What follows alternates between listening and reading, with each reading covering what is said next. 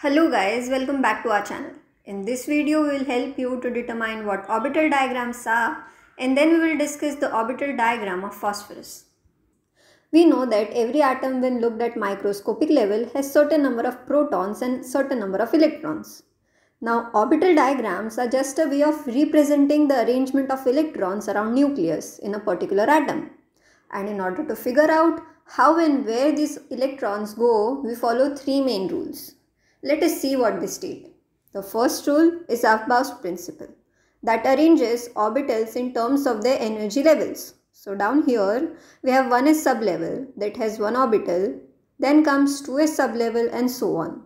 So the electrons will go in 1s orbital first and then move on to the orbitals having higher energy. Now the second rule is Hund's rule that explains the arrangement of electrons in an orbital of sublevel. Well, electrons tend to, tend to be as far as possible from each other so as to minimize the repulsion.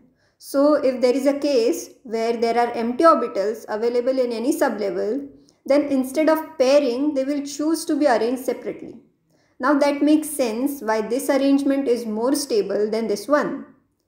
The third and last, last rule is Pauli's exclusion principle that states the arrangement of two electrons in any orbital. It states that there can be maximum of two electrons in an orbital and that two should have opposite spin. No two electrons with same spin can occupy a single orbital as shown here. That is incorrect. Now that we have discussed the basics that we should know for orbital diagrams, let us move ahead and draw one for phosphorus. Now phosphorus is a p block element and has an atomic number of 15. That means that it has 15 protons and 15 electrons. Now that we know the number of electrons, it is easy for us to write its electronic configuration. It will be 1s2, 2s2, 2p6, 3s2, 3p3. If you, add the, if you add up the numbers here, you will get the value of 15. Now let us arrange the electrons in its orbital. Now s can hold maximum of 2 electrons, so we will place 2 electrons with opposite spin. Same we will do with 2s. Next comes 2p, then 3s. We are left with 3 more electrons and based on the Hund's rule, we know how the 3 electrons will be arranged in 3p.